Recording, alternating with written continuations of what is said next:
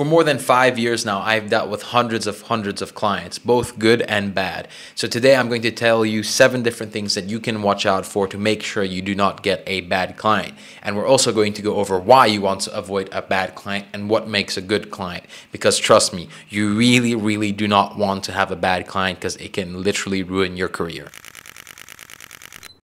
For those of you who don't know me, my name is Daniel and I've been working in the creative field of freelancing, specifically in social media and video content for over five years now. And I'm going to tell you why you need to get good clients and not bad clients. So the first thing to look out for is whether or not they have a clear vision. Having the client know exactly what goals they want to achieve is going to make it a lot easier to make sure that you guys are on the same page and misunderstandings are kept to a minimum. A client with a clear vision is going to be a lot easier to make sure that you and them are on the same page age. It also means that they're going to have more realistic expectations and misunderstandings and miscommunication is going to be at a minimum. I mean, just think about this. How can a client with no vision or unclear vision be happy with what you're going to make for them? They don't even know themselves what they want specifically. So you are basically going to go in, do a bunch of work for them, and they're going to either be not happy with it because they don't know what they want themselves. I mean, how can they be happy? They don't know what they want. They don't know what they're expecting, you know?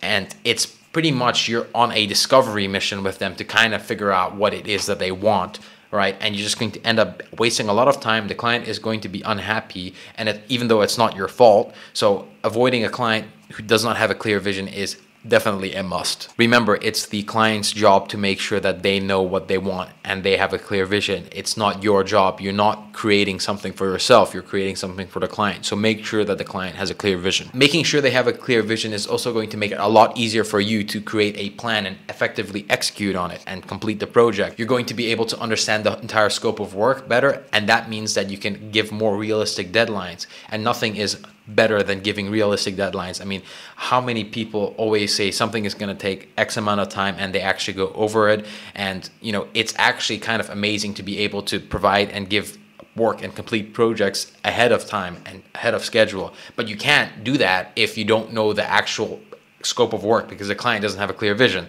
right? They're just going to end up being angry. A bad client who doesn't have a clear vision isn't even going to understand themselves what a completed project is really going to look like. I mean, I've had it before where clients have said, yeah, uh, can you make this for me? I just know I want this kind of video. Well, I mean, I'm not you. I don't know what kind of message you're trying to portray or what kind of vision you want to achieve or what are your goals you know what are you trying to accomplish with this i can't do this for you and i made the mistake of still going through with clients who did not have a clear vision and it always ends horribly I've had it before we've had plans and entire storyboards and everything put together, but suddenly the client has had a change of mind. But I've already spent so much time and effort on this, and it's annoying because they didn't have a clear vision, so they didn't know. And suddenly, you know, they're changing ideas and they got different things and different things they want to try out and all these.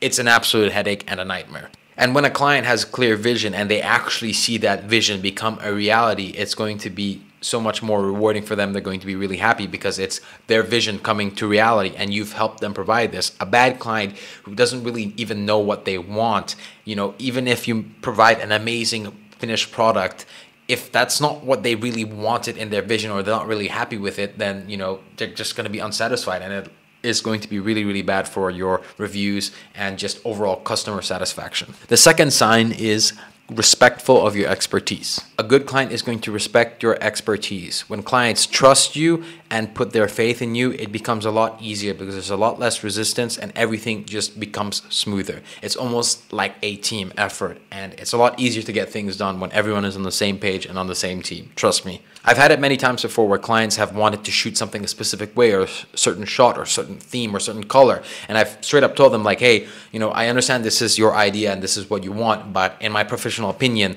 I don't think that's going to work for, you know, reasons A, B, C, and D or whatever. Or you know with previous clients that I've had. And a good client is going to say yep I understand this. You know it makes sense. I trust you. If you say this is the better thing to do then they're going to trust you and they're going to allow you to do that. A bad client is going to do the exact opposite and they're going to try and fight you on this and you know at the end of the day, you, it's supposed to be a collaborative effort, and you can't be fighting and arguing with your client because it's just not going to work when there's no trust. When a client respects your expertise, that means they trust you and they have faith in you, which means that they're going to be a lot less likely to micromanage you. And believe me, A client that micromanages you is an absolute pain in the butt. This lets you focus on doing your work and making sure the project is completed. You don't feel like you have someone breathing down your neck and watching over your shoulder. A bad client is going to the exact opposite of this. They're going to micromanage you. They're going to slow things down. They're going to try and put their input in every little thing and it just slows everything down. And it essentially feels like they're paying you to basically babysit you,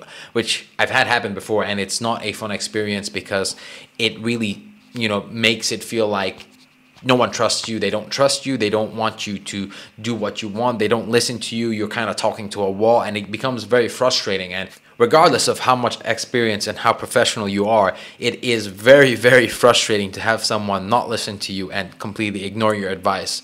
It's almost like you're talking to a wall and this is very demotivating and it actually makes you not want to you know continue to work on the project at all. Also being respected and feeling valued is a huge morale boost. When i have clients who are constantly praising my work and appreciative of the time and effort that i put in to complete their projects it always feels really really nice when they give you a pat on the back or compliment your work and actually just motivates me to work harder. The client has got to trust you. Look at it this way if a client, a bad client, doesn't trust you and doesn't listen to your expert advice, they're probably just going to end up with a worse product.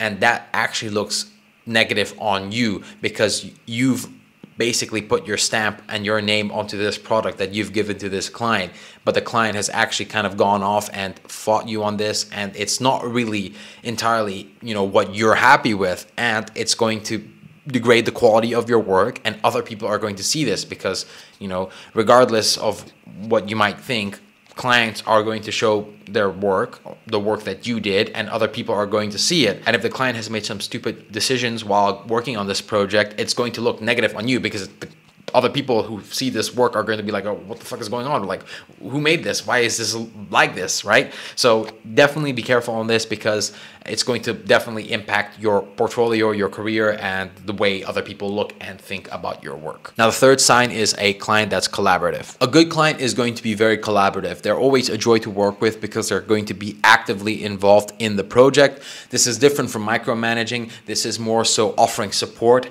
help, giving ideas, and it's just a joy to work with clients like that because it feels like they actually care about, you know, what you're doing and it feels more like a team effort, like I mentioned earlier. And allowing these clients to you know give input and be a part of the process of creating this project or achieving this goal that they want is going to make them happier as well. Bad clients who are uncollaborative are an absolute nightmare because you know first of all they don't really answer you to begin with. They don't help you. They don't clarify on anything or they just give up straight vague answers you know i've had it happen before I've, I've asked a client hey you know i've got two different three different options or three different styles, which one you'd like, and they're just like, oh yeah, just pick one, right? Well, I mean, you know, this is your baby, this is your product. I'm doing this for you. You know, can you help me choose one? And they said, oh yeah, whichever you think is best or whatever, right? And it's always a little bit sad because it feels like they don't really care. And uh, I've actually had couple times before where it's actually led to a couple of arguments with clients because they just didn't care. And this means you're not going to be aligned and on the same page with your client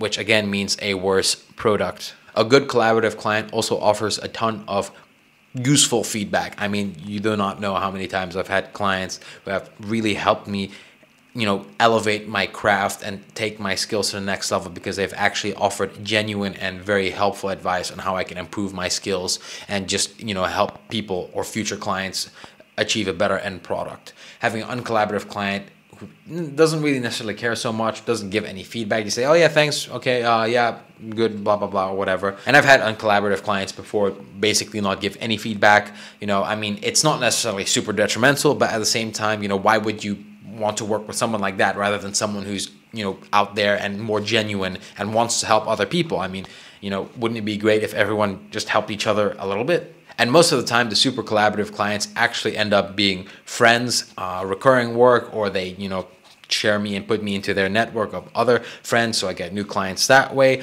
So having a collaborative client is really, really great because usually 99% of the time it means that they have a very positive experience working with you and that just means a more work uh, better product and a better portfolio. And i've even had clients ghost me for a couple of months because they were just busy doing something else. They were that uncollaborative and it really seemed like they didn't care so much about a project. Can you imagine a project that's been ongoing for half a year and it all it needs is a couple of questions answered to be able to finally complete it or for them to actually look at the work that I've sent them. I mean, that's absolutely insane. Sign number four is that they are appreciative. Now, this is a little similar to previous points, but a good client is always going to be supporting you and going to be there to motivate you. I've had many clients before constantly, you know, applaud my efforts, they praise my work, my style, my quality of work, and whenever this happens, it's always a joy because it actually, you know, motivates me to want to work harder and create a better end product for the customer because a unappreciative client is kind of, you know, sad in a way. You spend all this time and effort working for this person, trying to create something that they're going to be happy with. And if the whole time you just say okay or you know send the dreaded thumbs up emoji, it is kind of disheartening because it feels like they don't care and it doesn't feel like they're acknowledging the time and effort that you're putting into you know create something for them. Sign number five is they value a long term working relationship. Good clients are always going to want to work long term. Now, this doesn't mean you gotta not accept any one off projects. Of course, we're all gonna get those, but having clients or focusing on clients who want a more long term partner or a long term working relationship is always better because the longer you work with someone, the more you get to understand them, the better you're going to become at working with them, and the more efficient everything is going to be. And typically, clients who want a long term work relationship, I guess you could put it that way, they're going to be a lot more open to working together and they're going to be a lot more collaborative, right? So focusing on these types of clients is going to be just overall better because, you know, typically it actually results in a friendship um, as, as long as you're a little bit communicative and all that, you know, you can choose to be super professional and non-emotional but i prefer to try and befriend my clients because when you are in a good relationship with them they're 100% more likely to recommend you to everyone that they know who could use your services. And that's just a big plus because who doesn't want more clients and more money and a bigger portfolio? Clients who are looking for a one-off project are a lot less likely to do this. This doesn't mean necessarily that they are bad clients, but this is something to look out for because a good client in this sense can go really, really far. I mean, uh, some really, really good friends of mine were originally starting out as clients. So yeah, they've brought me in a lot of new customers as well. Now, clients who want a one-off project are a lot less likely to do those things because again, they're just looking for a one-off project. This doesn't necessarily mean that they are a bad client. It just means that, you know, what they have or what they need done is a one-off thing. So again, that doesn't give you enough time in my opinion to form a good relationship unless it's a very very big project, but typically you know, once again, that would come through a recommendation. If I have a really, really big project that's very important, I'm probably going to ask my friends for a recommendation and not someone random. So, yes, one off clients are a lot less likely to recommend you to other people and they're in general just a lot less likely to give you a review and they're a lot less likely to even remember you and your services so even in the future if you know they're you're the only person that they know who does this specific thing they might not even remember you. So yeah just keep that in mind. Sign number six is they understand your value and rates a good client understands your value and rates. I've had clients before literally write me blank checks for projects because they trusted me, they understood my experience and expertise and the knowledge and the fact that I can complete this project. So they don't haggle me and they don't bug me for, oh, can we make this cheaper or can we do that? You typically want to find clients who are looking to do the best thing and money not necessarily is no object, but they're not going to cut corners to reach their end goal. These clients are always amazing to work with because there's usually a very high level of trust and respect between you and the client. Typically, you're not going to get these kind of clients right away unless you have a really, really big portfolio. These types of clients are usually through a relationship that's built over time. Again, trust and mutual respect. But if you have a really good portfolio, then you may be lucky and land one of these clients where they're like, yep, no problem. We don't want to cut any corners. You know, whatever needs to be done or whatever needs to be paid will be paid. And that's just a great joy because it allows you to really flex your creative muscles and your skills. A bad client is going to be super budget conscious. Now, of course, if you're starting out and you're in your infant stage of, you know, your freelancing career, you don't really have a portfolio, then you're going to have to deal with a bunch of these people. But at the same time, you want to try and avoid them because the way I see it is clients who are super budget orientated and they don't really understand your value as a professional and as an expert are going to try and cut corners.